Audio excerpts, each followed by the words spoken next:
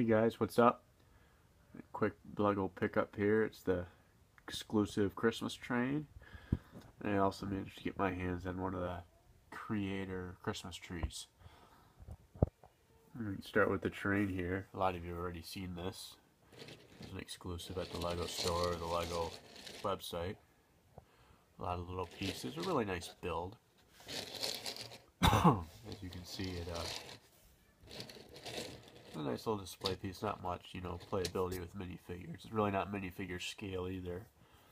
It's really small, but you can see, it's cute, festive, throw it on a shelf for the holidays. Move on over here. I bought this set, it's at Target.